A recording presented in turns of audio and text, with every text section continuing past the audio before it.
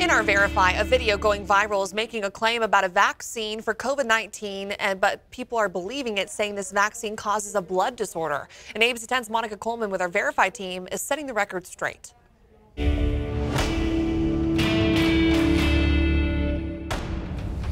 Have had viewers reach out about a video circulating online claiming the Johnson & Johnson COVID-19 vaccine causes an issue with your blood called rouleaux formation, which can be harmful. So we set out to verify are the claims in this viral video about the J&J vaccine causing rouleaux formation true? Our sources for today's verify are ABC 10 medical expert Dr. Payal Kohli, Dr. Brad Pollock with UC Davis, and Dr. Ishac Nazy with McMaster University. To understand why the video is alarming people, we have to know what exactly is rouleaux formation.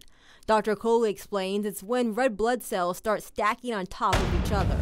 Rouleau formation, like I said, can occur under in a number of different conditions, including conditions like diabetes, including infection, really including things that rev up the immune system and cause inflammation, and then of course certain types of cancers. Dr. Kohli says there's no connection the vaccine causes rouleaux formation, but even if someone did develop the issue after getting the vaccine, it's probably a result of immune activation what's most important is are the patients having clinical events? Are they having adverse events that suggest that those rouleaus are causing trouble?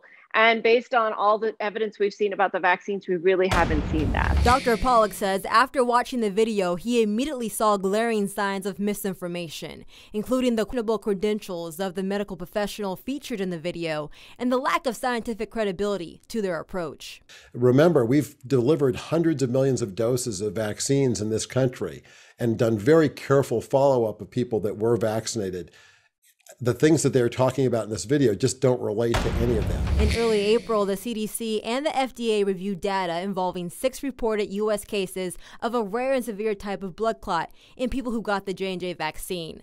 But the CDC concluded that the vaccine is safe.